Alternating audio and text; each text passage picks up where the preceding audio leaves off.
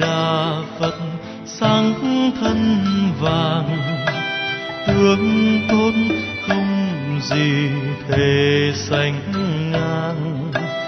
Mặt biếc lăng trong chung bốn biển tu di rực rỡ ngập hào quang.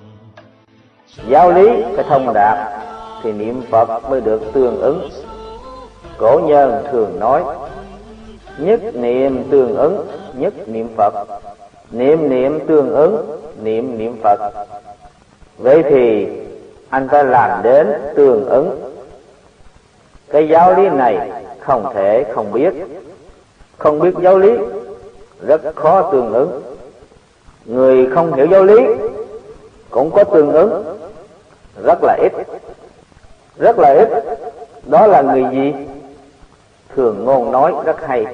Người thật thà, chân chánh thật thà có thể không cần hiểu giáo lý. Cái gì gọi là thật thà? Vậy họ niệm a di đà phật, họ liền niệm đến cùng. Họ niệm a di đà phật, quyết định chẳng có vọng tưởng, quyết định chẳng có hoài nghi, quyết định chẳng có gián đoạn. Hạng người này gọi là người thật thà? Người thật thà khó được có lẽ hiện nay, trong một vạn người, khó mà tìm được một người. Người đó có thể không cần học giáo. Có thể không cần nghe kinh. Họ có thể thành tựu. Cho nên, trong phật môn, bất luận là tông phái nào, một pháp môn nào, thực sự có thành tựu. Một là người thượng trí, một là người hạ ngu hai hạ người này dễ dạy. Người thượng trí, họ hiểu được, họ thông minh, họ đối với giáo lý thông đạt, cho nên họ không có hoài nghi, không có xen tạp, không có gián đoạn. Cái hạ ngu này, cổ nhân thường nói, ngu bất khả cập. Chúng ta người thông thường, so với họ không bằng. Tâm địa của họ thanh tịnh trung hậu lão thành. Họ chẳng có tạp niệm, họ chẳng có dục vọng. Dạy cho họ một câu phật hiệu, họ liền niệm đến cùng. Họ chẳng có hoài nghi, họ không có xen tập thường thường hai, ba năm, họ thành công rồi. Họ vãng sanh, biết trước ngày đi. Họ không sanh bệnh rõ rõ ràng ràng minh minh bạch bạch. Lúc sắp ra đi, phật đến tiếp dẫn. Vui mừng mà ra đi. Chúng tôi nhìn thấy không ít. Hạng người trình độ như chúng ta rất là khó độ. Lên không lên, xuống không xuống. Suốt ngày đến tối, khởi vọng tưởng. Trong khi niệm phật, có xen tạp vọng tưởng trong lúc học giáo, cũng có xen tạp vọng tưởng. Cho nên học giáo không thể khai ngộ. Niệm phật không được nhất tâm. Căn bệnh ngay tại chỗ này. Bệnh của mình phải tự mình đối trị. Người khác không thể giúp được. Tự mình phải có quyết tâm. Đem cái căn bệnh của mình sửa đổi trở lại. Cổ nhân nói rất hay, ngu bất khả cập. Chúng ta muốn học hạ ngu. Khó, rất khó rất khó. Chúng ta muốn đem thân tâm thế giới, tất cả buông xuống. Không thể không đi theo con đường giáo lý này. Thật sự thông đạt giáo lý cũng tức là nói, cứu cánh nhân sanh vũ trụ này là sự việc gì? Nếu không thể, triệt để thông đạt. Nhưng đại khái cũng phải hiểu rõ. Sau khi hiểu rõ, anh mới biết buông xuống. Anh mới biết được buông xuống là chính xác.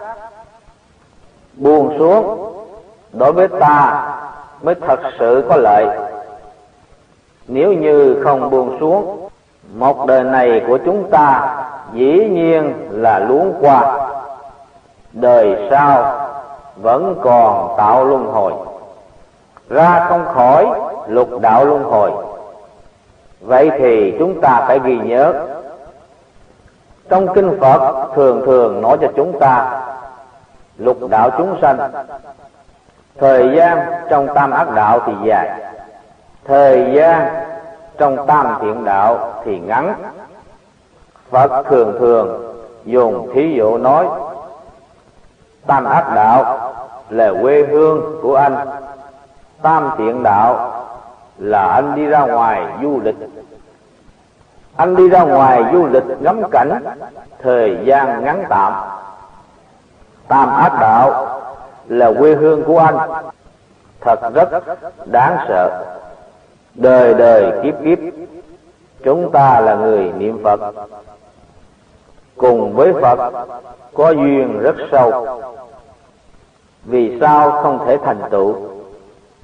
Tức là không chịu buông xuống, không có đem thân tâm thế giới triệt để buông xuống.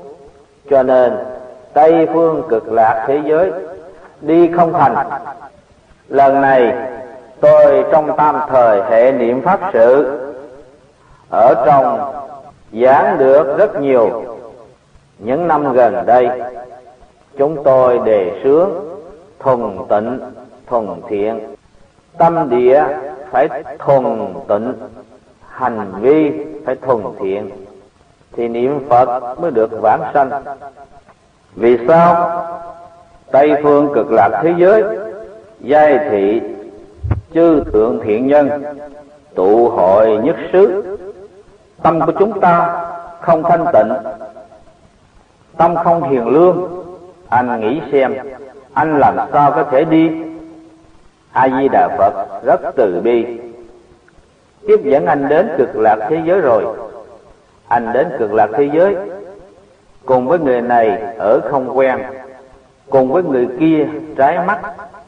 Đây là cái chánh nhân của anh, không được vãng sanh. Cho nên, tại thế gian này, trong mấy chục năm, ngắn ngủi, giống như chúng tôi, là người đã lớn tuổi, đại khái chỉ còn trong vài năm hoặc trong mười mấy năm người trung niên trở lên phải có cảnh giác cao độ. Thời gian không nhiều. Anh phải thật sự nắm lấy thời gian. Làm cái việc đời đời kiếp kiếp của chúng ta. Hy vọng cầu một sự việc lớn này không phải là một đời một kiếp. Cơ hội lần này không thể bỏ qua kinh kim cang, phật nói rất hay. Phàm sở hữu tướng, giai thị hư vọng, nhất thiết hữu vi pháp, như mộng huyễn, bào ảnh. Anh mà đem những thứ này để trong tâm. Sai rồi, không nên còn lo lắng, triệt để buồn xuống. Trong tâm chỉ có a di đà phật, chỉ có cực lạc thế giới thật sự người cầu vãng sanh. Trong một đời của anh, một bộ kinh vô lượng thọ đủ rồi. Nếu chơi kinh vô lượng thọ quá nhiều, không cách nào thọ trì. Vậy thì anh học kinh a di đà kinh a di đà phân lượng ít. Trước kia, tại trung quốc chúng ta đều biết ngài liên trì đại sư, đời cận đại ấn quang đại sư. Các ngài một đời chỉ thọ trì một bộ kinh a di đà một câu lục tự hồng danh. Thành phật làm tổ, nhất là ngài liên trì đại sư nói rất hay. Tam tạng mười hai bộ, nhường cho người khác ngộ quý vị nào ưa thích thì quý vị đi ngộ.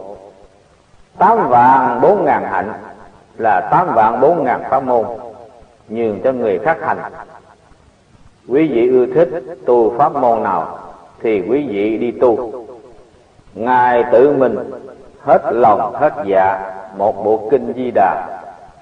Một câu phật hiệu, thành phật làm tổ cũng dư thừa cái tâm vĩnh viễn là thanh tịnh. Vĩnh viễn là trí thiện. Chúng tôi nói thuần tịnh, thuần thiện. Ngài hoàn toàn đã thực hiện được. Hoàn toàn đã làm được. Cho nên ngài đã thành tựu. Cái sự việc này nói thì dễ, lúc làm thì khó chỗ khó ở chỗ nào? Cái khó ở chỗ cái lý chúng ta không thấu triệt. Phương pháp chưa tìm được.